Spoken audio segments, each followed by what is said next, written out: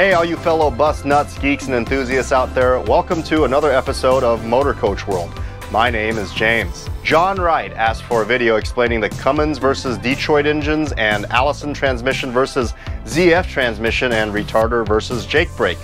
Now, I would be doing you guys and each of these topics a great disservice if I were to try and squeeze all these topics into a 10 to 14 minute video. So, John, I'm going to break these apart and do one video for each of these items over time. Today we're going to talk about the ZF AS-Tronic transmission, what it is and how it compares to a regular automatic transmission like the one you probably have in your car. To really understand where the ZF AS-Tronic transmission comes from, we kind of have to take a dive into the past for a bit. Back in the day, all cars, buses, and trucks were built with manual transmissions, or otherwise known as stick shifts or standard transmission. First of all, let me point out that the term standard or manual transmission existed only after the automatic transmission became available as an option when purchasing a vehicle. Yes, that's right, there was no such thing as an automatic transmission prior to 1940. And the first car to have an automatic transmission was the 1948 Oldsmobile. Prior to the 1980s in the US, you would be hard pressed to find an automatic transmission as an option when purchasing any type of vehicle. And anyone who wanted to drive would have had to learn how to shift through the gears. In the 1980s, as the automatic transmission became refined and popular, more and more family cars and private vehicles were built with them. And today, the automatic transmission has all but dominated the market here in the United States. As of 2020, only 13% of all cars sold in the United States are offered with a manual transmission, my truck being one of them. It's sad, really. We should teach our kids how to drive manuals. With that said, the first actual bus to have an automatic transmission as an option was the GM Old Look Transit Bus, available for operators to purchase with the two-speed Allison V-Drive transmission starting in 1948. Now, why anyone would name a model of a vehicle they produce Old Look is beyond me. I would have hired a new marketing agent after that. Starting in the late 1980s, the automatic transmission became more prevalent in the US, and the majorities of Americans chose the easy road when purchasing their next car. Unless you were a pure car enthusiast, the automatic transmission became the preferred option for the public. In the commercial industry, however, trucks and buses were still mostly equipped with the manual transmission, and the migration to the automatic transmission for the commercial side was much slower. Now, the primary reason for this, amongst many other factors, was the fact that manual transmissions would last longer when operated properly in the hands of a skilled driver, and thus companies would save more money on maintenance and transmission replacements for their fleet. Now, keep in mind that in the 80s and 90s, anyone old enough to enter the workforce in the transportation industry would have most likely grown up learning how to drive a manual transmission vehicle. And because of that, trucks and bus companies in the 80s and 90s continued to enjoy a steady supply of new drivers that knew how to properly operate a clutch and a shifter. It wasn't until the late 90s and early 2000s that the transportation industry started noticing the majority of the new drivers entering the workforce did not know how to drive a manual. Even with months of training, the new drivers would learn how to drive a manual truck or bus, but not with the experience of someone who had driven one for years, if not decades.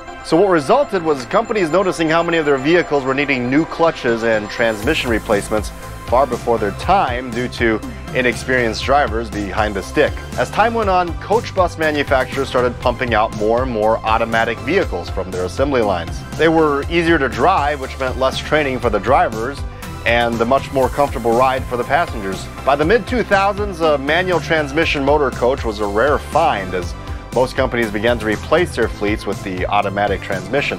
A very popular transmission that was not only installed on many different make and models of buses, but trucks and even military armored personnel vehicles as well was the Allison B500 and the Allison B500R, with the B500R having an additional retarder that uses transmission oil pressure to help the vehicle slow down without using its brakes, thus giving the operator an alternative way to slow the vehicle down. Now, as the truck and bus side of things slowly moved over to the automatic transmission, between the 80s, 90s, and 2000s, something else was kind of brewing on the side. The lines between the automatic transmission and the manual transmission was being played around with, and a mutation of the two was slowly coming to form. You see, the automatic transmissions still had the problem of not lasting as long as the manual ones, and owners and managers who stuck with the manual transmission fleets were facing more and more burned out clutches and damaged gears because of poor shifting habits of drivers, as well as trainers not training drivers properly on how and when to use the clutch.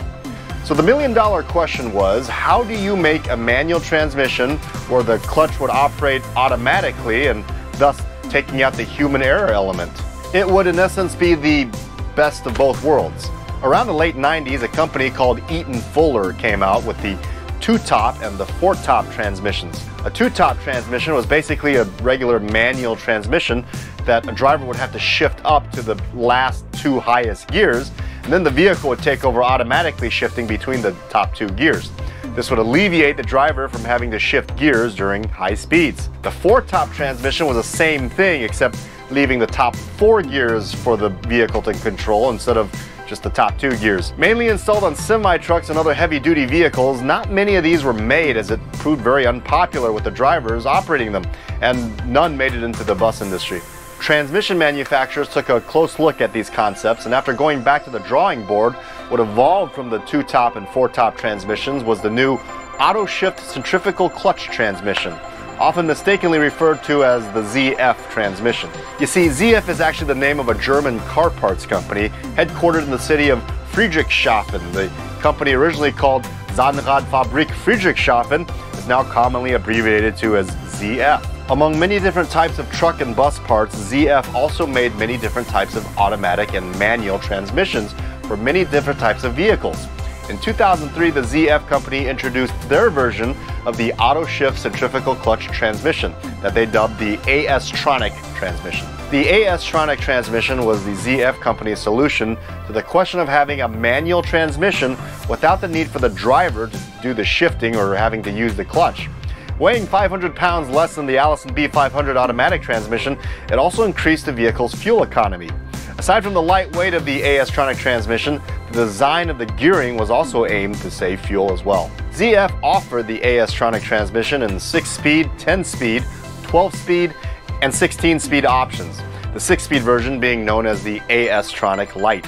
This caught the eyes of many bus company owners and immediately there were demands to have the AS-Tronic transmission as an option for coach buses, which at this point was being offered from motor coach manufacturers such as MCI, Prevost, and Van Hool. Now anyone who has ever driven or been a passenger on a vehicle with a manual transmission would describe the acceleration as not consistent. In order to accelerate, the driver has to push down on the clutch to shift gears, and during that time it takes to perform this process, the vehicle would no longer be accelerating. As soon as the driver successfully shifts into the next sequential gear, the vehicle would then resume its acceleration. This process repeats until the driver has hit his or her desired speed or when the driver has reached the highest gear that the vehicle offers. A passenger on a motor coach that had a AS-Tronic transmission would experience the same sensation as the vehicle shifts through its gears.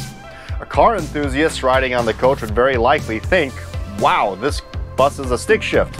But should this passenger walk up to the driver's area to have a peek at the controls, confusion would set in immediately as the shifter and clutch would simply not be there.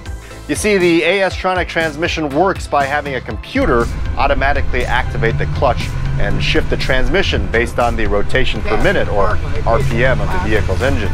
Any coach with an AS-Tronic transmission would otherwise behave just like a vehicle with a manual transmission. When on an incline, if the driver should release the brake to accelerate, the coach would actually begin to roll back until the driver starts to accelerate. When accelerating in a bus equipped with the AS-Tronic transmission, the driver and passengers would feel the same shifting patterns as in a manual and be able to hear the engine RPMs go up and down between each shift but a passenger would notice the driver not performing any of the shifting and clutching if he or she were to be sitting in a seat with a clear view of the driver. As with many things in life, we tend to realize that taking the human element out of a process, especially when it comes to controlling a vehicle, is not always a good thing. Drivers had a love-hate relationship with ZF's AS-Tronic transmission. Some loved it and some hated it. Now, some of the problems with having a manual transmission that shifts by itself was that it left the driver feeling helpless at times. Acceleration was extremely slow. This was problematic when merging onto an interstate on an on-ramp with an upward incline. By the time the driver merged with traffic, the coach would be going at a dangerously slow speed, causing traffic to swerve around. The transmission could be easily confused when a driver slows down to come to a stop and then suddenly, before reaching a complete stop, decides to accelerate again. The transmission would take a few extra seconds to decide whether it needed to shift into neutral or go back into gear. This would inevitably also confuse other traffic around the bus as they would assume the bus was coming to a stop and either begin to go around the bus or take the right of way at a stop sign when the operator of the bus was actually trying to accelerate to cross the intersection, causing near collisions. Trying to make delicate maneuvers when parking or fitting into a tight spot was also sometimes a challenge. A skilled stick shift driver relied on the feeling of the clutch to gauge how much to push down on the accelerator in order to start moving.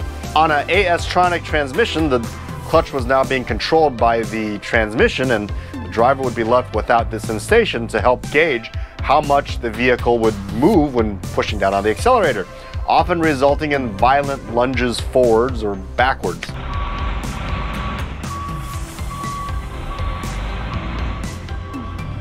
Another problem was in heavy traffic, drivers constantly needing to stop, go, stop, go would face a nightmarish situation when operating an AS-tronic. The repetitive jerking forward and stopping would sometimes cause passengers to get motion sick.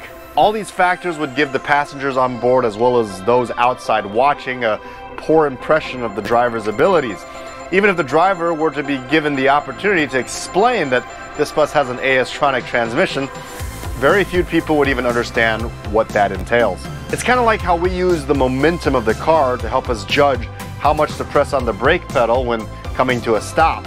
If we could somehow take that feeling away from the driver, we would start seeing skilled drivers unable to judge how hard to press down on the brake pedal, and all of a sudden, a once smooth driver now screeches to a stop every time he or she approaches a stop sign.